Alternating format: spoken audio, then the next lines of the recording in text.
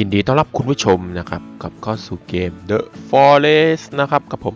Agent K นะครับเนาะต่อจาก part ที่แล้วนะครับ ความเดิม part ที่แล้วคือ ผมตกแต่งสิ่งของในบ้านใช่ไหมเฟอร์นิจงเฟอร์นิเจอร์เนาะ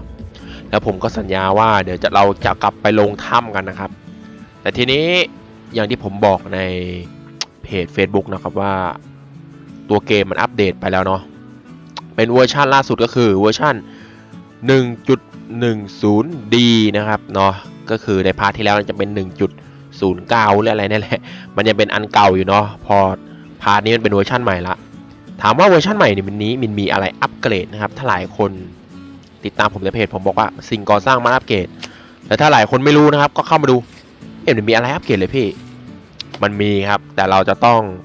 ไปสำรวจถ้ำก่อนเนาะเพื่อที่จะเอาเป็นเหมือนคล้ายๆบลูปินมาอารมณ์ประมาณนั้นนะ เนาะโอเค เดี๋ยวเราจะต้องไปสำรวจถ้ำนะครับ สิ่งที่เราต้องมีนั่นก็คือรีบิเตอร์เนาะเพราะว่าถ้ำทั้ง 3 ที่นะครับอยู่ใต้น้ำทั้งหมดเลย แล้วในถ้ำแต่ละที่ก็จะมีของใหม่ๆนะครับ อาจจะเป็นพวกบูปินอย่างที่ผมบอกเนาะเป็นหน้าหน้าหน้าหนึ่งของหนังสือเล่มนี้นั่นเอง เอามาใส่ใส่แล้วจะคับของได้เพิ่มเนาะแล้วก็จะมีในส่วนของเอ่อมันจะมีอาวุธอันใหม่มาอีกอันหนึ่งนะครับ แต่ผมขอเอาอันนี้ออกมาใช้ก่อน อาวุธใหม่ทีนี้ไม่ใช่ไอ้นี้นะหมายถึงว่ามันเป็นหน้าไม้เนาะโอเคนะครับ แล้วก็อย่างเช่นเคยนะครับ ผมก็ได้ทำการใส่สูตรเอ่ออมตะไปแล้วเนาะแล้วก็สูตรเอ่อ building hack นั่นเองนั่นเองเนาะก็คือทำให้สามารถสร้างได้แบบไม่มีขีดจำกัดเนาะแล้วก็อีกสูตรหนึ่งที่กำลังจะใส่นะครับ ก็คือสูตรปรับเวลาให้เป็นกลางวันนะครับ ช่วยในการถ่ายทำนั่นเองเนาะเพื่อที่คุณผู้ชมจะได้เห็นว่ามันสว่างตลอดนั่นเอง เดี๋ยวก็จะบ่นอีกนะครับว่าชอบถ่ายตอนมืดๆ โอเคเราปรับทุกอย่างตามนี้แล้วเนาะเดี๋ยวเราจะไปเปิดถ้ำกันนั่นเองเนาะเริ่มจากถ้ำแรกครับมันอยู่กลางทะเลเราต้องสร้างอันนี้ไปแล้วกันโอเคเดี๋ยวเรือออกจากท่าก่อนนะ ไปแหละโอเคนะครับถ้ำแรกที่เราจะไปเนี่ยมันจะอยู่กลางมหาสมุทรนะครับ เป็นสมบัติลับของอควาแมนหรือเปล่า ไม่ใช่เนาะใครได้ดูแล้วมั้งอควาแมนมันอยู่แถวนี้ นี่ไง จุดสังเกตของโลเคชันนะครับก็คือมันจะมีเออนี่ไงมันจะมีแบบ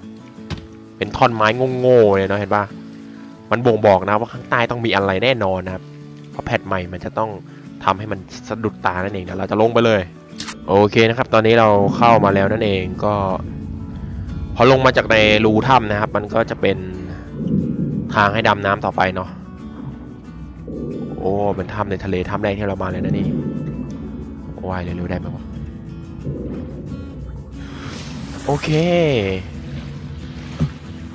ขึ้นมาบนนี้เป็นเอ่อมีอะไรสักอย่างแปะอยู่ตรงนี้ด้วย โอ้แล้วหนาว I am now นี่ครับ มีของให้เก็บตรงนี้นั่นเอง เดี๋ยวเราเก็บก่อน นี่นะครับที่ผมบอกมันเป็นบูปินเนาะ มันเอาไว้สร้างสิ่งก่อสร้างนั่นเอง ไฟตูดับเลย เคนะครับขึ้นมาพวกเราเจอเลยไอ้พวกใบอื่นๆนี่เป็นพอประกอบฉากแต่ตรงนี้ให้เก็บนั่นเองโอเคแล้วเราต้องลงไป มันลึกไหมวะน่าจะลึกนะครับ เดี๋ยวเราลงไปก่อนโอเคนะครับ ข้างในถ้ำก็ มีเป็นพวกเออเหมือนใบยันนะไม่ใช่ เป็นสิ่งของนะโอ้โหถ้ามึงจะแปะเยอะขนาดนี้นะ อะไรวะเนี่ยแต่ไปหมดเลย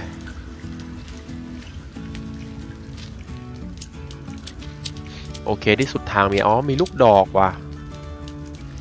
นี่นะครับเอ้ใช่ใช่ป่าวะอันนี้มันชิ้นส่วนเปิ้ล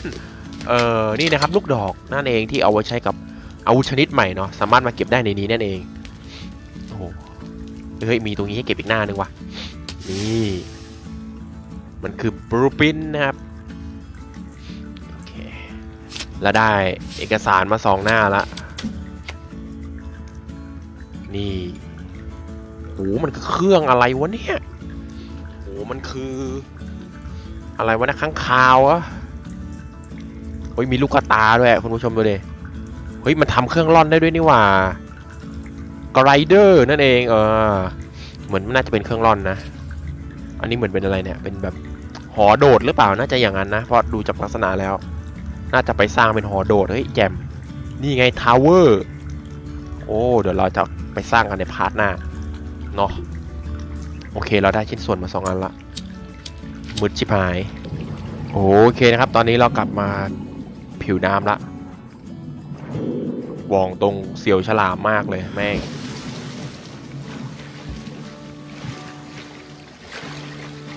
แล้วเราจะขึ้นเรือเราได้อย่างไรนี่โอเคขึ้นมาละ โอเคนะครับทำแรกเราสำรวจเสร็จละ เราจะไปจุดถัดไปกันเลยเนาะไม่เป็นการเสียเวลานั่นเอง นี่ไงพอพูดถึงฉลามฉลามมาอยู่นี่นี่เห็นไหมคุณผู้ชมกลางจอเลยเนี่ยแม่งน่ากลัวพอๆสแตนเด r d ดีฟเลยนะครับนี่โอ้ยเนาะ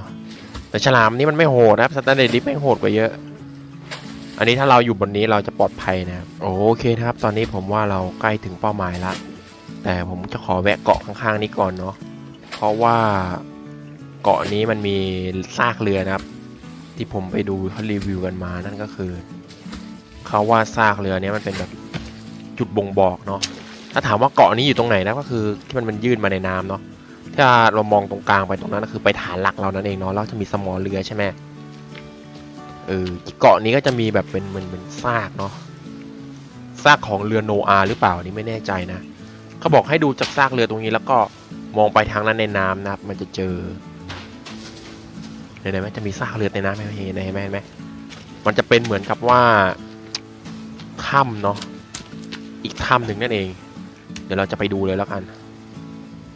เพื่อมีเป็นการเสียเวลาถ้ำหมายเลขสองนะครับถ้ำนี้ก็มีเขาเล่าอะไรนะ นี่นะครับทางลงถ้ำจะมีเป็นขอนไม้อย่างนี้เนาะสังเกตดูนะจะเป็นขอนไม้ผูกเชือกใช่ไหม ทางทางถ้ำในถ้ำนี้นะครับ ถ้าผม spoil เลยก็คือมีเป็น crossbow เนาะเดี๋ยวเราจะลงไปดูกันเลยนะครับเนาะจะไม่เป็นการเสียเวลานั่นเอง เดี๋ยวขอ skip ข้ามตอนลงนะเพราะว่าเหมือน frame rate จะตกเนาะเพราะมันโหลดอะไรเยอะแยะเลยนั่นเองโอเคนะครับ ตอนนี้เราลงมาในถ้ำแล้วนั่นเอง คือตอนเราดำน้ำลงมาเราจะเจอเป็นซากเรือนะครับเนาะแล้วเราก็ต้องมองหาดีๆนะ เพราะว่าใต้ซากเรือจะมีรูลงไปในถ้ำอีกทีหนึงเนาะอาจจะมองยากนิดนึงนะครับ แต่เราถ่ายไว้ไม่ได้ เพราะว่าเวลาเราใกล้ถึงปากถ้ำเนี่ยมันจะโหลดเหมือนโหลดฉากนะครับ มันจะไม่เฟรมเรทตก เวลาตัดต่อมันจะมีปัญหานะครับ โอเค เรามาขึ้นฝั่งเรียบร้อยแล้วกับอาการหนาวจับใจ โอเคนะครับ ข้างในนี้ขึ้นมาได้ก็เหมือนจะไม่มีอะไรเก็บนะครับ มีแต่กระดูกพ่อใครก็ไม่รู้เต็มเลยนั่นเอง โอเคนะครับ เราเจอเป็นเออ เหมือนเรือสำเภาจีนเนาะเป็นรูปนั่นเอง แล้วก็มีคอสโบนะให้เราเก็บ แล้วก็มีหน้าหนังสืออีกหน้าหนึ่งนะให้เราเก็บนั่นเอง อันนี้เป็นในส่วนของน่าจะเป็นโบสถ์นะครับ แล้วมีไม้กางเขนแล้วมีลงศพ เพื่อ เพื่อใครโอเคนะครับ มาฝั่งนี้บ้างนะ ฝั่งนี้จะเป็นเอ่อกระสุนคอสโบซะส่วนใหญ่เนาะ เยอะเลย เยอะกว่าทำที่แล้วอีก เคเหมือนเราจะรูทหมดแล้วนะครับ ไม่มีอะไรละหน้าไม้หน้าตาจะเป็นอย่างนี้นะครับอ่าสวยงามอารมณ์อย่างก็เล่นอาร์คโอเคเดี๋ยวเราต้องขอเดินทางออกจากถ้ำนี่ก่อนเนาะเพื่อจะไปถ้ำสุดท้ายนั่นเองถ้ำสุดท้ายเนี่ยจะอยู่ฝั่งตะวันออกนะครับ east เนาะ east cave นั่นเองค่อนข้างไกลมากๆนะครับจากฐานเราเนาะอีกฟากหนึ่งของเกาะเลยนั่นเอง ต้องใช้เวลาในการเดินทางมากนั่นเองเนาะเดี๋ยวผมขอสคิปข้ามเลยแล้วกันเพราะว่าน่าจะใช้เวลาในการเดินทางภายเดือนค่อนข้างนาน พอสมควรเนาะโอเคนะครับ ก่อนที่เราจะออกจากถ้ำที่สองเนี่ยนี่นะครับทางลงถ้ำพอเราลงมาใช่ปะจากไอ้ไม้ไม้ด้านบนนะจะเป็นแบบเหมือนแบบรอยแตกของเรือนะครับอยู่ตรงนี้โอเคเราก็ต้องหาทางขึ้นเนาะนี่นะครับทางขึ้นมันจะเป็นอย่างนี้นั่นเองที่เราลงมาเนาะเออแล้วเราก็ขึ้นมา ตรงนี้เราต้องรีบๆว่ายนะเพราะแม่งฉลามมันเยอะมากไม่งั้นเราอาจจะโดนแง้มได้ โอเคเนาะเดี๋ยวเราจะเดินทางไปจุดถัดไปแล้วกันเนาะจุดถัดไปเป้าหมายถัดไปปลายทางนู้นนะครับแล้วก็อ้อมแหลมไปแล้วโคตรไกลเลยนั่นเองโอเคเนาะเดี๋ยวขอ skip ขอเลยแล้วกัน โอเคนะครับหลังจากหลังจากที่เราพายเรือมาระยะหนึ่งเนาะจากฝั่งนู้นนะครับ ตอนนี้เรามาถึงนะครับ cave island east นั่นก็คือถ้ำตะวันออกเนาะที่อยู่ในน้ำนั่นเอง จุดสังเกตของมันก็คือ มันจะอยู่เลยหน้าผาเนาะแล้วก็มันจะอยู่ในน้ำนั่นเอง แล้วก็มันจะอยู่ใกล้ๆกับพวกเกาะเล็กๆพวกนี้เนาะเห็นไหมเห็นไหมจุดสังเกตนะครับ แต่พอเราเข้าไปใกล้ๆปุ๊บมันจะมีเออเป็นท่อนไม้อย่างนี้เนาะโอเค อันนี้ก็จะเป็นถ้ำสุดท้ายนะครับถ้ำที่สามเนาะเดี๋ยวเราจะลงไปดูกันนะครับว่ามีอะไรอยู่ข้างใต้บ้างนั่นเอง แล้วก็จะกลับไปที่ฐานแล้วก็ตัดจบคลิปเนาะแล้วไว้พาร์ทหน้าเราจะมาสร้างกันนะว่าสิ่งที่เราไปเก็บมาเนี่ย สร้างได้เป็นอะไรบ้างนั่นเองเนาะโอเค เดี๋ยวเราจะทำการลงไปดูนะครับ แต่ผมขอสคิปข้ามตอนลงไปดูเนาะโอเคนะครับ ทางเข้าถ้ำก็ไม่มีอะไรพิสดารเนาะอันนี้ก็คือลงมาที่ก้นทะเลแล้วก็จะเจอเลยนั่นเองเนาะเป็นรูลงมาข้างใต้เนาะตอนนี้เราก็เข้ามาในถ้ำแล้วนะครับ แล้วก็เป็นทางลงปกติเนาะแนวดิ่งเลยนั่นเองไม่มีอะไรอุ้ยงานเข้าออกซิเจนจะหมด ฉันกำลังจะตา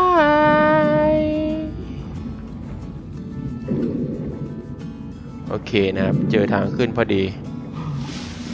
เกือบตายนั่นเองโอเคน่าจะเปลี่ยนแทงออกซิเจนเลยละกัน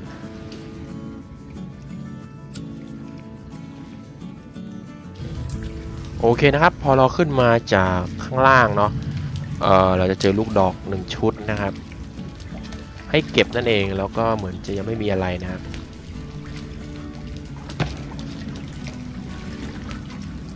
ค่อยๆเออเดินสำรวจเป็นหน้ากระดานไปแล้วกันเนาะโอเคเนาะเราเจอเป็นลูกดอกอย่างเดียวนะครับ ตรงทางขึ้น แล้วก็เหมือนจะเป็นทางลงนะเป็นรูลงไปอีกแล้ว เหมือนเราจะต้องดำน้ำเยอะมากเลยครับเนี่ย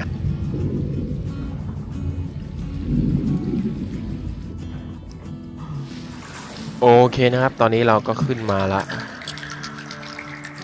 ข้างใต้นี้ก็มีเสียงน้ำเอ๊ะก็ต้องมีอยู่แล้วสิเนาะ โอเคนะมีไม้กระดานเต็มเลย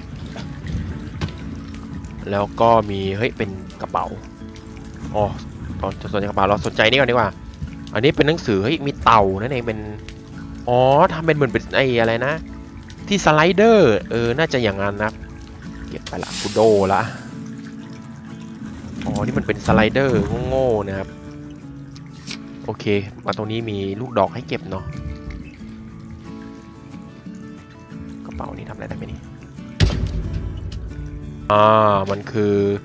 อะไรสักอย่างนะ clothing เสื้อผ้าหรือเปล่า ไม่แน่ใจนะครับ น่าจะเป็นชุด อะไรสักอย่างเนาะ จะเป็นเสื้อผ้าให้เก็บนั่นเอง โอเคนะครับ ข้างในก็ไม่มีอะไรละ ก็เหมือนถ้ำนี้จะมีเท่านี้นะถ้ำสุดท้ายนั่นเองเนาะ โอเคเดี๋ยวเราจะเอ่อตัดภาพกลับไปที่ฐานเลยแล้วกันเนาะเพราะว่า ตอนนี้เราก็สำรวจถ้ำพวกนี้หมดแล้วเดี๋ยวเราจะกลับไปปิดคลิปกันที่นู่นแล้วกันเนาะโอเคเรามารีวิวอาวุธใหม่แล้วกันเนาะเป็นคอสโบนั่นเอง ก็ เห็นเขาว่านะครับว่ามันแรงมากเลยนั่นเองเดี๋ยวเราเอาไว้เทสยิงคนป่าเมื่อมีโอกาสแล้วกันเนาะแต่กระสุนนะครับกระสุนข้อเสียคือสำหรับแพทนี้นะครับเราต้องไปดำน้ำเอามานั่นเองเนาะถ้าเราไม่ถ้าเราไม่รู้สูตรสปาวนะ เราจะต้องไปดำน้ำเอาจากถ้ำทั้ง 3 ที่เนาะซึ่งค่อนข้างจะเหมันจะเสียเวลาพอสมควรนะครับเนาะมันก็คงไม่ดีถ้าอาวุธปืนหรอก แต่มันก็เป็นอาวุธใหม่นั่นเองเราลองยิงดูสักทีแม่งไม่มีเป้ายิงด้วย นี่เป็นไงเหมือนยิงแล้วลูกดอกหายไปแล้วว่ะโอเคเนาะอาวุธใหม่ก็อย่างที่ผมบอกนะมีแค่หน้าไม้กับลูกมันเนาะส่วนทางด้านของสิ่งที่เราสามารถสร้างได้นะครับ จะอยู่ในหมวดนี้เนาะมันจะอยู่ต่อจากอันนี้นะครับ ถ้าเราไม่ไปเก็บมาเราจะไม่มีเนาะโอเคอย่างแรกก็คือเป็นในส่วนของเออเป็นอาอารมณ์ประมาณว่าแบบโบสถ์หรือเปล่านะ เดี๋ยวพาร์ทหน้าเราจะมาสร้างกันเนาะ อันนี้เหมือนจะเป็นโลงศพนะครับ อันนี้เป็นเป็นไม้กางเขนเนาะ อารมณ์เหมือนประมาณว่าบูชายันหรือเปล่า เออ มึงวิ่งจริงเดี๋ยวพาหน้ากูจะบูชายันพวกมึง เนี่ยไอที่วิ่งวิ่งกูกูกูกูก่อนเดี๋ยวเดี๋ยวมึงโดนเดี๋ยวมึงโดนพาหน้ามึงโดนแน่ไม่ต้องกลัว โอเคนะครับ อันถัดไปอันนี้จะเป็นส่วนของ grinder นั่นเอง grinder ก็คือเป็นเหมือนเครื่องร่อนชนิดหนึ่งเนาะถ้าดูจากพัสดุนะครับ ก็ใช้ ค่อนข้างเยอะนั่นเองเนาะเป็นไม้สติ๊กสตัวนใหญ่เนาะเป็นหนังกระต่ายนะครับ แต่ถ้าเราใช้สูตรอย่างที่ผมบอกก็ไม่จำเป็นต้องพะวงเรื่องนี้สักเท่าไหร่ โอเค อันที่3นะครับเป็นในส่วนของ tower นั่นเองเนาะใช้ไม้ท่อนใหญ่โคตรเยอะเลย ส่วนอันทีสี่4นะครับเป็นในส่วนของ slider น่าจะเป็น slider เนาะโอเคเนาะ part นี้ก็ไม่มีอะไรละเราจะมาเปิดเกาะใหม่ถ้ำใหม่นั่นเองใน patch เวอร์ชัน 1.10 D นะครับเนาะเรามาต่อกันในpart นี้นั่นเองเนาะเราก็ทำให้หลายคนที่ยังไม่ get นะครับเข้ามาได้สำรวจโลกใหม่พร้อมกันนั่นเอง ส่วน part หน้านะครับเราจะมาทำการสร้างเนาะจะไล่ไปทีละหน้าเลยนะว่าเฮ้ยมันเป็นยังไงอะไรยังไงเนาะโอเคสำหรับ part นี้ก็ขอตัดจบไปเพียงเท่านี้แล้วกันแล้วก็เจอกันใหม่ใน part หน้านะครับสำหรับใครที่ยังไม่กดไลค์หรือกด subscribe ก็รบกวนนิดนึงนะครับเนาะ อีกประมาณ 9 ไลค์เอ้ย9 subscribe เนาะก็จะครบ 5,000 เราจะได้เก็บ